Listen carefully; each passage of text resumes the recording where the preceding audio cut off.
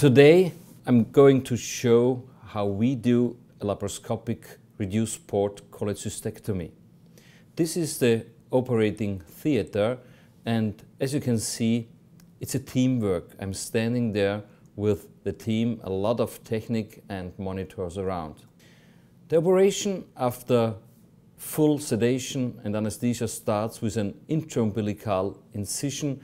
We open the fascia, we make an open approach and then we put in the multiport, a multiport system. In that case, it's the octoport system, which has one incision and the possibility for three or four instruments to put in. This is the connection device for the insufflation of the humidified and warmed CO2 gas, standard 12 millimeter mercury. After the establishment of the pneumoperitoneum, we grasp the gallbladder and completely freed from peritoneal omental adhesions. And after that, we go straight forward to the area of Calot's triangle. Calot's triangle means the area between the common bile duct, the right hepatic artery, the cystic duct, cystic artery, and the posterior wall of the gallbladder and liver bed. We identify the critical structure, structures like the common bile duct, then the cystic duct, the cystic artery, and after complete demonstration, what we, what we call a safety view technique or the critical view of safety where you can see behind the structures an empty window here. We clip with um, Hem-o-lok clips the structures and then we divide it. Here you can see we just actually divide the artery.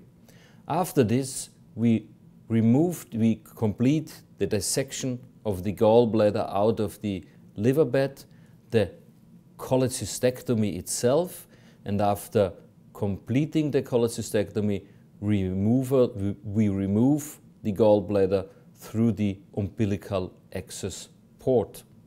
The gallbladder shouldn't be opened as seen here. After removal of the gallbladder, we go back in the abdominal cavity and have a final check if there's any bleeding or oozing. So this patient has a cirrhotic liver and uh, this is dangerous for bleeding and therefore we prefer to put in a hemostatic fleece. The preferred fleece in our clinic is the pre-rolled TachoSil. And the next you can see it's ready to use in the OR. You just open it, you take dry hands, dry instruments, put it in a forceps or grasper and it's easily to bring it in through a 12 millimeter port as you can see. Inside the abdominal cavity we de-roll it on the right place needing two dry instruments, forceps or grasper and after perfect placement we just put a wet swab for two minutes there to make the active surface work, that it gets 100% adhesion to the liver bed and after removal, after two minutes after removal of the wet swab, it's there where it should be and it works.